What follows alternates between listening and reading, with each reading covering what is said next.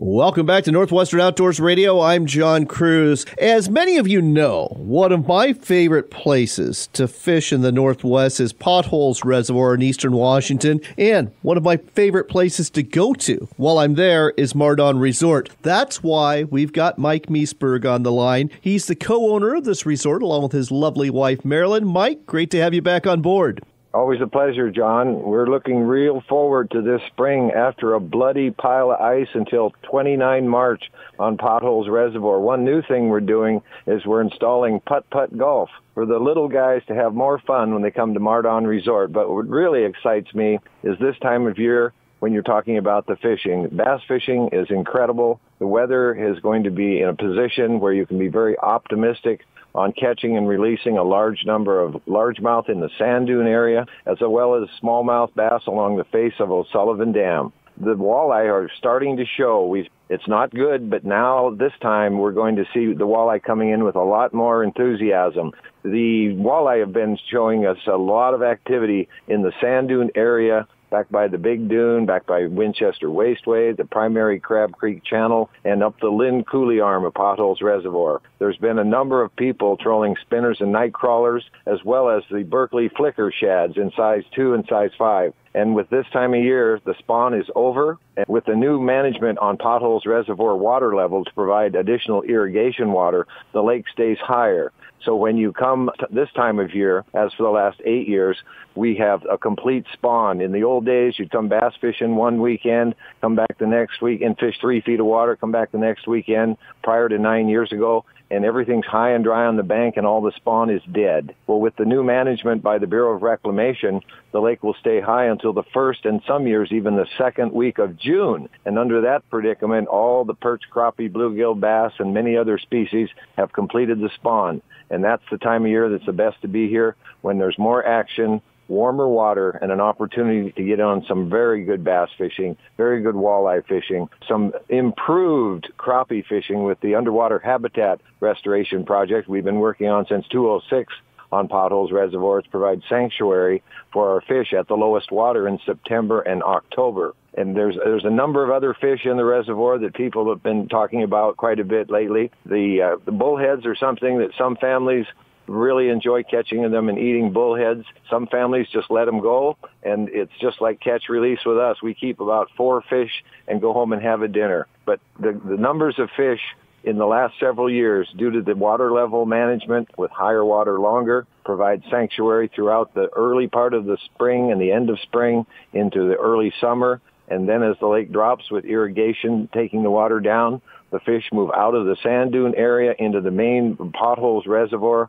where you can troll with spinners and crawlers for walleyes, plugs for walleyes, and a great deal of jigging for walleyes. And there's a lure that all of us have used forever for walleye called a blade bait, which can also give you a fantastic time once you learn the technique of blade baiting. And it's a, just a great lure. But ultimately, when the when the sunshine hits, the water's warm. It's a fun place to come and relax and have a have a wonderful time. And we also have an event on May 18th that is being put on by the Berkley Company. It's a, a bass fishing tournament, a one-day tournament on May 18th. Everyone's welcome to join. They've registered for 175 boaters, and it's a opportunity to get into a quality bass event. It's a big bass tournament. One fish is weighed every hour. If you take a fish in and you win the weight of the hour plus $2,000 from Berkley, you'll get a key, as in a key to a boat. Ooh. And then each hour you take your key at the end of the event, and you have an opportunity to, to put it into a Ranger boat and the lucky winner will go home with a brand spanking new amazing Ranger boat from the Berkley Company. Oh. The tournament director, Brian, has done a fabulous job of, of helping us put this together, and we're very excited about that Berkley tournament on May 18th in of this year. So if you like bass, if you like tournaments, it's a nice place to go. If you like just fishing on the bank, having a good time, that time of year rainbows are biting, crappies are kicking in, and you can get a lot of bass and walleyes occasionally, not all the time, but occasionally bank fishing on the shores of Potholes Reservoir, Soda Lake, Long Lake, and Crescent Lake and the Seep Lakes also provide the same fishing opportunities as Potholes, as Potholes Reservoir provides. All right. Well, slow down there, Mike. Slow down. Let me sum this up for you, folks. Potholes Reservoir, 27,000 acre reservoir located just south of Moses Lake. And Mardon Resort has got great places to stay. We're going to tell you about that in just a second. But again, to sum up the fishing there, as you just heard, we're talking about a great bass fishery for both largemouth and smallmouth. Largies up to seven pounds, smallmouth up to six pounds. We're talking perch, we're talking crappie, we're talking bluegill, we're talking catfish, we're talking bullhead, and we're talking rainbow trout. And I know I've missed a couple of other species in there, but they're in there too. Just about anything you can catch in the freshwater, you're going to find at Mardon Resort. To the south, of the resort are the seep lakes. Some of those are hike in, some of those are drive in. Beautiful lakes surrounded by basalt cliffs, gorgeous area to fish. And each of those lakes, you know, some are managed for warm water species, others for cold water species. Again, a lot of fun to fish in the spring. Your base camp, Mardon Resort. Let's talk about that. And the thing about Mardon is you're always improving. You mentioned the putt putt golf that's coming in. But let's go ahead and give an overview of what's at the resort in terms of cabins, cottages, RVs, store, restaurant, etc. Oh, there's many different RV hookups. In the last five years, we put in big rig RV hookups for those fabulous 40 foot and longer um, RVs. Um, you can take Grandpa brings his big retirement RV over. He can have his daughter and her husband on one side, and his son and her partner on the other side, and that's in one one particular place. And then we also have a basketball playing hoop, horseshoes, and all kinds of things in addition to our new thing for this year, which is putt putt golf. And uh, there's hiking. We have a large area where there's open hiking.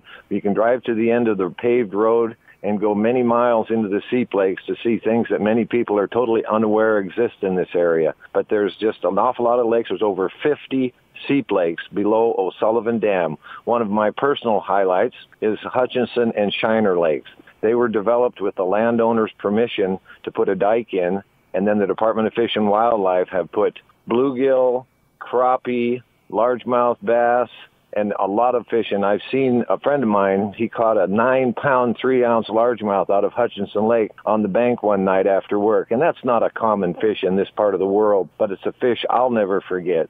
And we also see some incredible walleye from time to time. Like we've had walleye caught out of Potholes Reservoir by our good friend Carl Pruitt from Wenatchee up to 17 pounds. And it's just a really fun place. There's also channel catfish, which has a limit of five.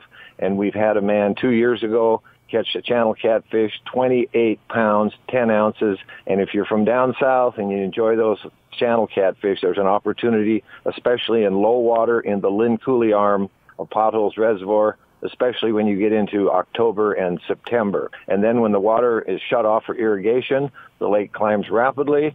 And then we have a lot of duck hunting and an awful lot of goose hunting. And we have guides that can take you on a trip of a lifetime. It's really a, a, a lot of fun to do at Mardon Resort getting back to the resort amenities, before we go, I've got to tell you other things you want to know about the resort. They've got the great RV spaces, but they have park cottages, camper cabins for rent. They've also got motel rooms for rent. They've got larger buildings for larger families. And there's a swim beach, there's a general store, there's the beach house, which is both a restaurant and a lounge. Perfect place to celebrate the end of the day. And don't forget the boat launch and the marina, and the fishing from the marina is great. There's events going on all year long at Mardon Resort. To find out more, go to their website, mardonresort.com. Again, that's mardonresort.com. If for some reason they are booked, Moses Lake is just a few miles away. Go to their website at moseslake360.com to find additional accommodations and restaurants and more. Mike, I got to let you go, but thanks for sharing this with us today on Northwestern Outdoors Radio. Thank you much, John.